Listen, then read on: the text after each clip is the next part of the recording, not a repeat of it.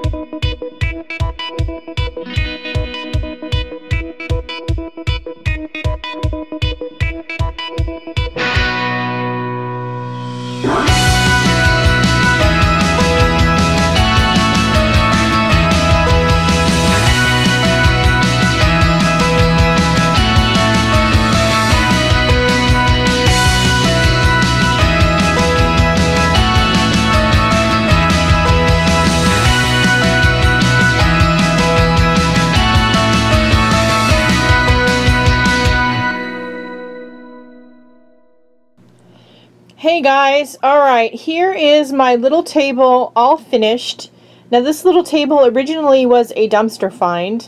We had a neighbor years ago that was moving out after 20 plus years in the house and they were throwing out a whole dumpster load full of stuff and this little table was going to be one of them and I rescued it then for our daughter's bedroom and painted it that patinaed copper color.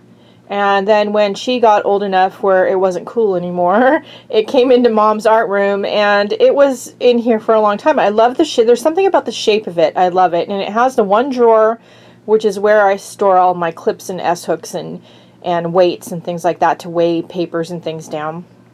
So I love this little table, but the dark color was just kind of dark and gloomy for me anymore. And I wanted it to be lighter and brighter. So I did this distressed sort of finish with the Deco Art uh, chalky finish paints. And I love the way it turned out. I am going to probably do other pieces of furniture like this. I rearranged everything that was on or under the table. I realized as part of this process I have way too many business cards, just FYI. I'm gonna use some of them up, give them out or something.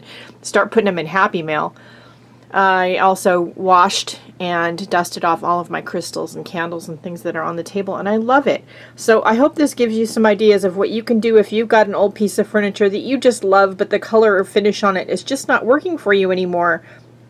This um, was super easy to do. I didn't have to sand anything. I finished it with a layer of the DecoArt Americana Cream Wax and it has this sort of matte uh, finish on it, which I love, but it's protected from the wax. It's just fabulous. So give it a try, see what you think, and that's it for today. I hope it gives you some ideas of what you can do. Don't forget to go out and have a great day. Do something nice for yourself because you deserve it, and I'll see you later.